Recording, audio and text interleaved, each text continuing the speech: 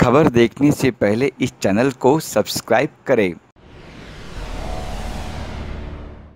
Global advertiser for innovative outdoor solution global edge a company it has never compromise on it service quality and commitment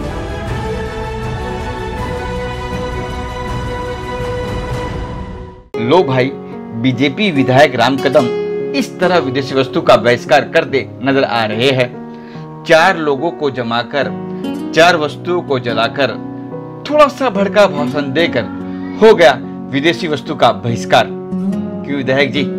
सही कहा ना?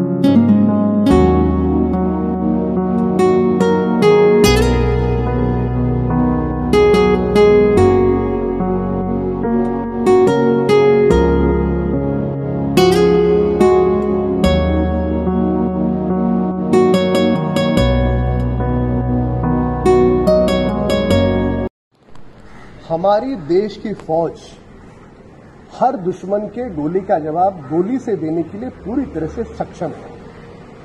पर यदि हम 130 करोड़ देशवासी हमारे वॉलेट से चाइना को जवाब दें, हम चाइनीज़ प्रोडक्ट को यदि हम पूरी तरह से बैन कर दें तो सही मायने में हम हमारे देश के प्रधानमंत्री मोदी जी का जो सपना है, आत्मनिर्भर भारत का, उस दिशा की ओर हम बढ़ेंगे। चाइनीज़ प्रोडक्ट हम बैन करते ही।